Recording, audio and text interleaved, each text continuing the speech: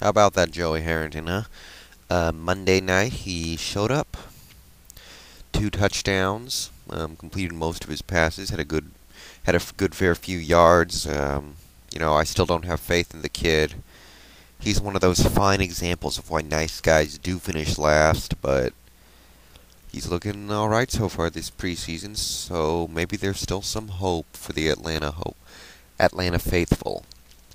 Um, pretty good game on Monday, actually. You know, those announcers would not shut up talking about Michael Vick. I want to watch the game. I want you guys to talk about the game. Felt like the game was just secondary to what, you know, the scandal concerning Michael Vick, and that just annoyed the hell out of me because there's a game going on. ESPN has been doing nothing but covering this Vick thing. So, I don't get it, man. Anyway, a pretty good offensive performance. Chad Johnson had his way with DeAngelo Hall, and you know I love seeing that because, well, I do think DeAngelo Hall is a very overrated cornerback. I think he thinks he's Deion Sanders, and he's not. And, um, Chad Johnson was just completely running up and down the field on him. Five catches, 83 yards, and a TD. Um, Palmer Palmer played extremely well, of course, finding the open receiver, spreading the ball out. Um, pretty much as good as Harrington did. Um, once the Jerious Norwood's looking pretty good, I actually managed to pick him up in a fantasy league. Some guy dropped him. I have no idea why, but um, he's a good find. He sure is elusive and quick, the little guy. He's like, you know, people talk about Reggie Bush or Mojo keep an eye on this guy. This guy is a lot like him. Maybe even more. We'll see. I think he's going to be the featured back in Atlanta, and he looks like something special. Um, beyond that, there's not a lot going on right now. Got a couple of. let's see. Um, Titans signed defensive tackle Corey Simon. Um, and why do they keep signing Indianapolis defenders? If you're going to sign Indianapolis players, wouldn't you want to look at offense? I don't know. I don't necessarily think it's the healthiest way to go about things. And this is one of their lesser signings in terms of signing Indianapolis defenders. Corey Simon's just way too fat to do much of anything in this league anymore. I mean, I'm all for fat defensive tackles, but I think he even he is just too big.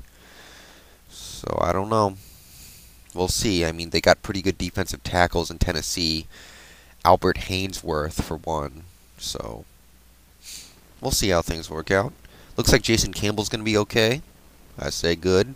Good young kid. I think he can be an alright quarterback. Maybe not a MVP or a Pro Bowler, but I think he can manage the game much like he did in college. Um, Michael Strahan issue won't clean itself up. I don't get it. He's not getting any more money, and he knows it, so you know, he said he was going to be in camp already, so either he's got to make a decision either way, even if it's to retire. You can't just keep leading the Giants along like this. Uh, I got a couple of messages. Some of these are quite old, so I'm sorry for getting to them so late, but you know how things can be.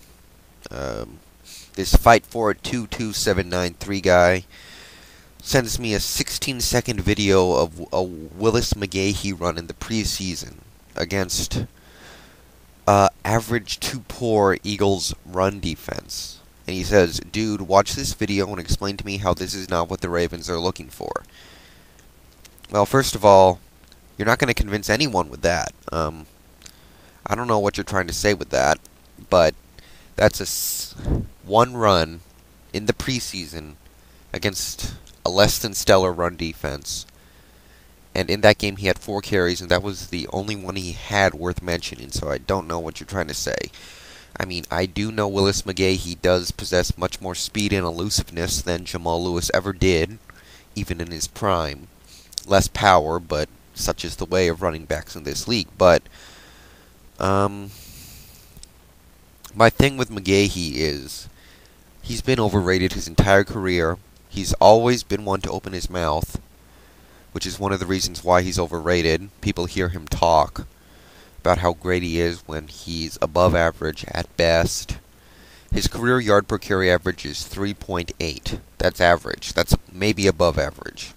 maybe in the Buffalo offense you could give him credit for being above average, but um, you know that's nothing special. He's only really had one stellar year in uh, 2004 when he had all them touchdowns after coming on late in the season. Yes, he was an absolute stud in college, but he suffered a severe, nearly career-ending injury since then. We all know about that. And he lost his quick his burst. He lost some of his ability. He um, is not the running back he used to be. He's still a solid running back, and he is an upgrade over Jamal Lewis in the sense that he is quicker and more elusive and can probably catch the ball better. Not by much, though. Um, he is better than Lewis, especially compared to Lewis last year, but he's not an elite running back. I think he's being overrated in fantasy leagues. And I don't think he's going to be the future Hall of Famer that some are pegging him out to be.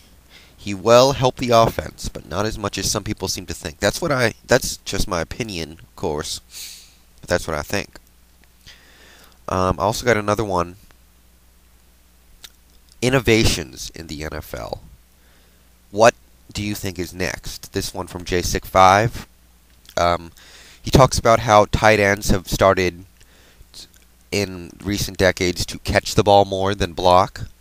Uh, running back tandems, smaller O lines, the 3 4 defense, faster linebackers, three safety sets, things like this. People that come around and don't only play the game very well, they change the game. They add something entirely new. Like decades ago, there was no such thing as a receiving tight end.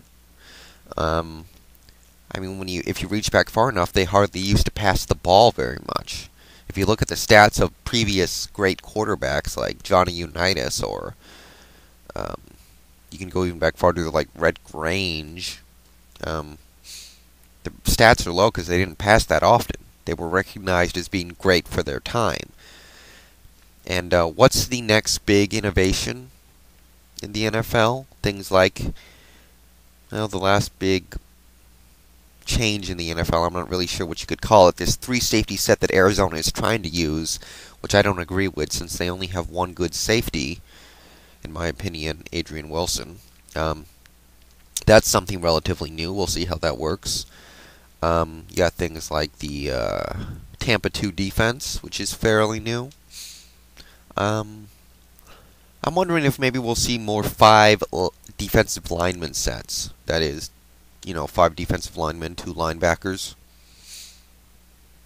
Um, uh, some defenses practically use it if they have three defensive linemen and then blitz the two outside linebackers. But I'm wondering if we'll see like three defensive tackles and two defensive ends sometime in the future. That could be interesting. One man, one man against each offensive lineman. Um,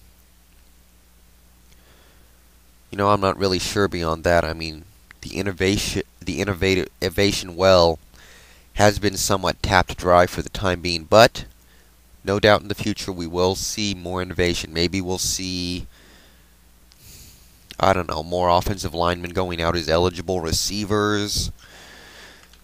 You know, they're I'm not sure what the next big innovation is, but I do like the idea of five defensive linemen at least as a experiment for a team that has extremely good lineman depth and maybe not so good linebacker depth. Interesting idea, maybe. Uh, I don't know what else to say on that subject, so that's about it for me. Um, tomorrow we got a ton of preseason games. I'm gonna watch what I can. You know what one game I definitely will be watching, but um, yeah. Um, I'm not sure what games I'm getting, but I'm Gonna watch everything I can. I'm actually going paintballing tomorrow, so hopefully I'll get back before the games start. A um, couple of games on Friday, and then we just gotta wait around for about 10 days. Well, actually, less than a week if you count the opening opening game, and then the season will start. And I cannot wait. It's gonna be a special season. Um. Okay. That's all I gotta say. So see you guys later.